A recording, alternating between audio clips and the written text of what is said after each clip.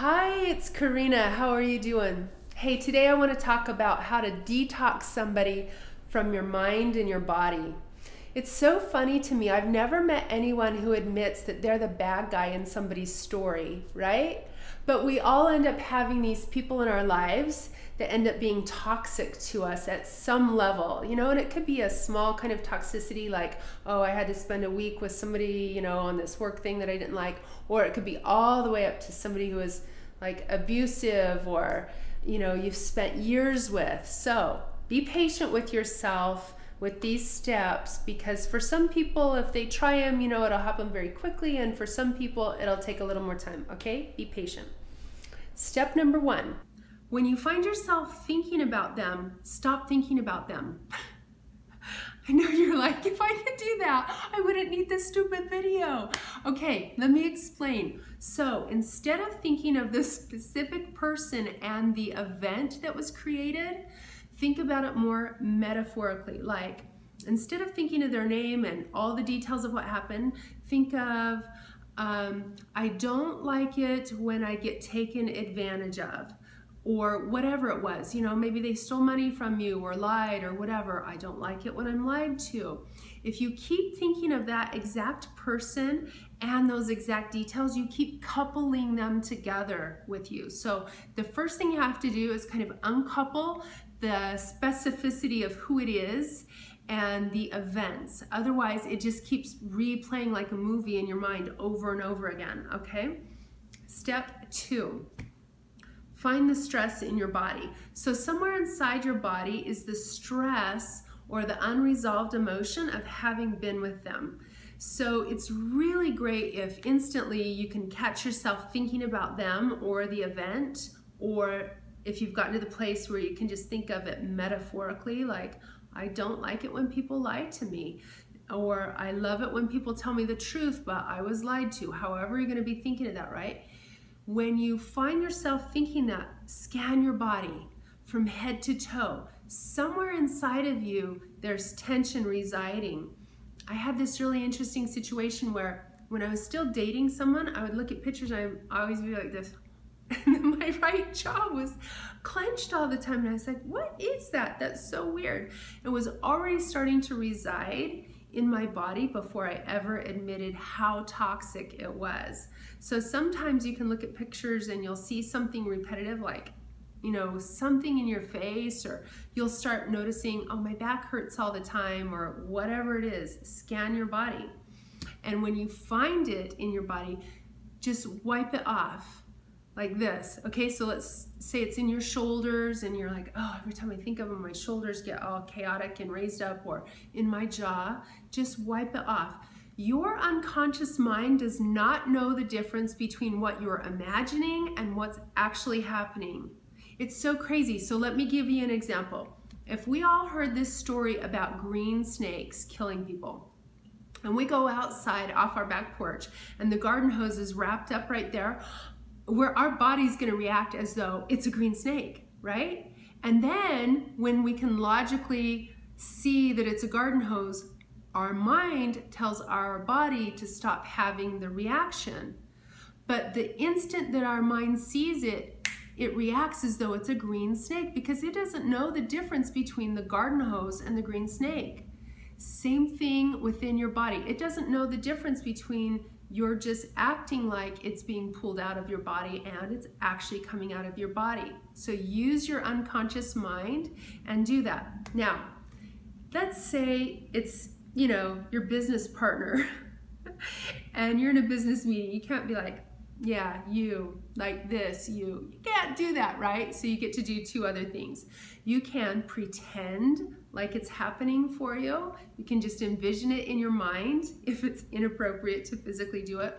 Or you can envision just some beautiful color coming down into that area and just releasing whatever tension and being replaced with a beautiful color. I like to even add like some sort of glitter or sparkle or anything that makes it really detailed and juicy for your brain to think about. Because the more you can engage your mind, especially the unconscious mind that works in symbols and colors and things like that, the more that it will be effective. I promise you it works, okay? Step three. You've got to trick your unconscious mind into an ending that hasn't happened yet. So if you keep getting stuck on the person and the event in the past and how that's affected you today in the present, and you don't have an outcome that's positive yet, make one up.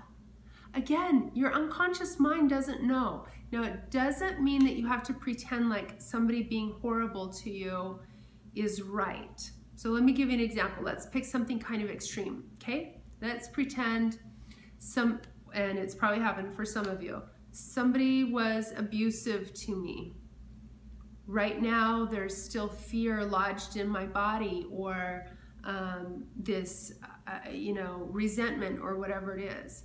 And this is where I am today because they did that to me. Let's trick your mind into a different ending. I was abused by somebody. I was abused. Don't connect to the person or the event. I was abused. It's still affecting me today. I am open to having the opportunity to teach others what the signs and symptoms are of abusive relationships. I was abused. It's affecting me today. I'm open to um, being able to become stronger now that I know how to avoid toxic relationships. So when you find yourself thinking about it, create a different ending. We've got to learn to bring the broken with us oftentimes when we end up in toxic relationships, we have this like broken piece that happens inside of us and we keep trying to bury that piece. Our wounds are our source of power, but we have to hold into it long enough to have that come to fruition. You know, it doesn't happen right away. We really have to do some work on it. I want to tell you stories about a story about Hercules. So uh, Zeus tells Hercules, hey, there's this dragon down in a village and it's eating people, and I need you to go down and handle it. Hercules is like, Herc on the job, got it. Zeus says, hey, before you go, just so you know, you're gonna get really tempted to pull your sword out and kill it, but don't do it. I need you to just hold strong while you're going through it, okay? But don't try to kill it. Hercules is like, no problem. Zeus is like, if you try and kill it, it's going to be a problem. Leave your sword alone. He's like, sure. Goes down the village. Dragon comes out, holds him. it gets really intense. So he whoosh, chops his head off, right? He's like, whew, that's close. Two heads grow back. So he's like, hold him again. He's like, oh, remembering what Zeus told him. Okay, I can't, can't, can't. Whoosh, four heads grow back and it just keeps going and going until a hundred heads have now appeared. And Hercules is just surrounded on all sides. And he's like, I can't, I can't. And he knows he can't pull the sword out anymore. He knows he can't kill it. And he holds and he holds. And right when he thinks, okay, I'm gonna die, the dragon disappears. And he feels something in his hand. And he turns it over and it's a jewel we can't just keep killing the piece of ourselves that either has been broken by somebody or has been feeling broken or we can't just bury it and move on. We got to hold in there, find it in your body, create a new ending. And stop coupling yourself together with the person. Find it metaphorically. Hold into it. Create that different ending until it's clean and clear and you will be holding a jewel. Let me know how it goes. Thanks.